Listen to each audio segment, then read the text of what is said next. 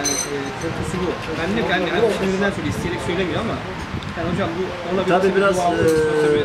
şey olarak, e, nefis olarak hepimiz nefis taşıyoruz. Evet. E, ister istemez e, biraz daha kızgınlık anına denk geliyordur o tür şeyler.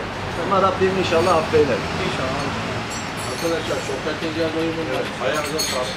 Şeref verin.